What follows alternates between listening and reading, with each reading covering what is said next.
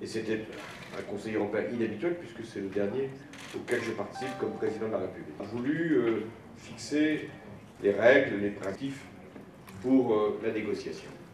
Ce qui est très important et ce qui pour nous était l'essentiel, c'est que les 27 puissent être unis de négociation. Et c'est le cas. Le travail qui avait été et Donald Tusk pour le Conseil européen a permis d'avoir euh, un, très rapidement, parce qu'il n'y avait pas de négociation entre nous, elle avait eu lieu avec euh, l'Allemagne qui a été toujours dans notre histoire, la France l'a fait là. En 2012, quand j'avais évoqué la finance, tourment et ses propres turpitudes. La crise financière, c'était comportement d'un